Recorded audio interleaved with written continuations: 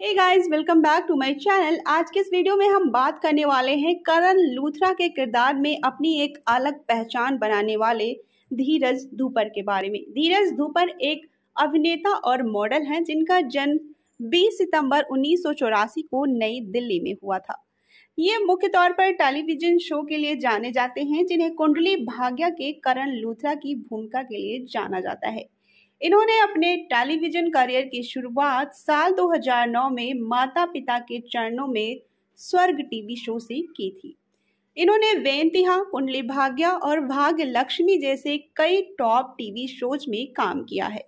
Television industry में शानदार अफनों के चलते धीरज धूपर को वर्ष 2021 में बेस्ट एक्टर पॉपुलर के लिए इंडियन टेलीविज़न एकेडमी अवार्ड से सम्मानित किया गया था। इसके अलावा उनकी पत्नी का नाम विन्नी अरोरा है। वो भी एक एक्ट्रेस हैं, जिन्होंने अपनी शादी 16 नवंबर 2016 को दिल्ली में की थी। उन दोनों की मुलाकात भी पहली बार माता पिता के चरणों में स्वर्ग के सेट पर हुई थी और यहीं से इनकी लव स्टोरी शुरू हुई और शादी तक बात पहुँची। आज ये दोनों पेरेंट्स बन चुके हैं। विन्नी ने एक बेबी बॉय को जन्म दिया है। अगर बात करें धीरज के इनकम के बारे में तो ये पर एपिसोड 80 से नब्बे हज़ार रुपये चार्ज करते हैं। फ़िलहाल ये झलक दिखला जा सीज़न टेन में नज़र आने वाले हैं और इनके प्रशंसक, इनके डांस देखने के लिए बेकरार हैं। वेल कैसे लगते हैं आपको धीरज धू पर?